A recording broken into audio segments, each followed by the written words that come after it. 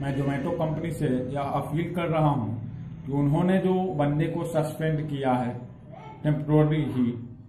और ये मैं जोमेटो कंपनी से, मैं जोमेटो में वर्क करता हूँ, लेकिन कुछ सेटिस्फाई नहीं हूँ जोमेटो कंपनी से। कारण ये है कि गलती किसी का भी क्यों ना हो, भुगतना राइडर को ही पड़ता है।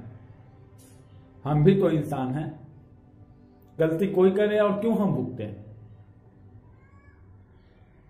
किसी ने कुछ कहा, मान लिए। बिना इन्वेस्टिगेशन के किसी को बात मान लेना है और अपने राइडर को झुकाना है।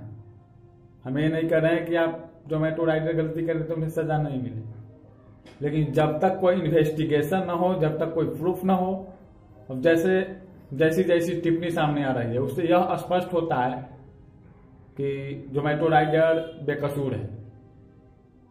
उसने कोई कसूर नहीं किया, कोई जुल्म नहीं किया। क्योंकि यदि कोई आदमी पंच गुस्सा में मारेगा आपके नोज़ पे तो आप बेहोश हो जाओगे। आप बेहोश हो जाओगे। यदि गुस्सा में कोई पंच आपको यहाँ मारता है तो आपका यहाँ का पूरा हिस्सा फट सकता है। आप फटेगा, आप बेहोश हो जाओगे। यदि गुस्सा में यहाँ पे मारता है तो आपका आँख पे भी चोट लग सकती है। साइड में भी लग सकती है। लेकिन क्या कारण है कि नोज़ के इस बीच सेंटर में जो खरोच आए हैं, वो तो खरोच हमको लग रहे हैं कि अपने नौ से जानबूझ कर किया गया है। ये मैं गारंटी नहीं दे रहा हूँ, मैं देखा नहीं हूँ। मैं बिहार से हूँ।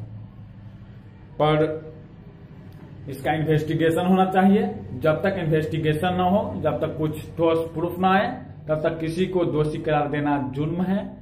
जोमेटो कंपनी से मेरा हाथ जोड़कर विनती है कि वो इस मामले को पूरी तरह जाँच करें और जिसे न्याय मिलना चाहिए, उसे न्याय मिले। आपने देखी दोस्तों, ये वीडियो ये बिहार के थे, जो ये भी एक जोमेटो डिलीवरी बॉय हैं। तो ये अपना दर्द बयां कर रहे हैं, किस तरीके से एक डिलीवरी बॉय को किस किस कंडीशन का सामना करना पड़ता है, किस तरीके से वो डिलीवरी करता है किस तरीके से वो अपना घर का खर्चा चलाता है तो ये भी यही चाहते हैं, निष्पक्ष जाँच हो। क्योंकि इन्हें भी ये लग रहा है कि इनको फंसाया जा रहा है कामराज को। तो कामराज, आप बेफिक्र हो जाइए, पूरा हिंदुस्तान जो है आपके साथ अब खड़ा होकर तैयार हो गया है। अब आपको इंसाफ मिलके ही रहेगा।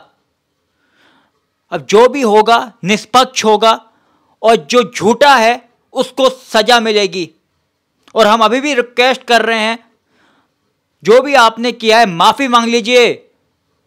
हितेशा चंद्रानी, माफ़ी मांग लीजिए। अगर ये कम्युनिटी इकट्ठी हो गई ना धीरे धीरे ये डिलीवरी बॉय की कम्युनिटी इकट्ठी हो रही है। ये इकट्ठी हो गई, खाना खाना मुश्किल हो जाएगा, बाहर से डिलीवरी मंगाना आपको। वो भी आपने झूठे एलिगेशन लगाए हैं, जो कि लग रहा है झूठे हैं, क्योंकि पूरा हिंदुस्तान गलत नहीं हो सकता। सारे लोगों को ये लग रहा है तो उसमें सच्चाई है, क्योंकि नाक पे मुक्का पड़ता है तो सूजन आती है, ना कि खून निकलता है। आपकी रिंग लगी है, जैसे कि कामराज ने बताया है। और ये पब्लिसिटी स्टंट खेलना बंद करो, ये फॉलोअर्स बढ़ाना अपने। खत्म करो ये सब बनना बता चुके हैं, झूठी साबित हुई, जेल जाओगी दो साल के लिए। बख्श दो उसको, उस गरीब को बख्श दो, पब्लिसिटी स्टंट में मत फंसाओ किसी गरीब को। ख्याल कर लो उसकी फैमिली का। अकेला है वो अपनी फैमिली में जो कमाता है। और दोस्तों, इस मुहिम में आपको हमारा साथ देना है, हम और आप मिलकर।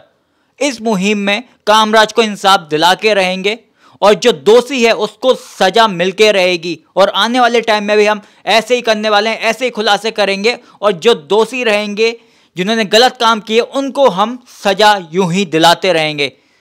तो दोस्तों, इस मामले में अगर आगे हमें अपडेट मिलती है तो हम आप तक ज़रूर पहुंचाएँगे और कामना करेंगे कि बहुत जल्द कामराज को इन सब चीज़ों से बरी कर दिया जाएगा, जो भी इल्ज़ाम उन पर लगाए गए हैं और दोषी को सजा हो पाएगी।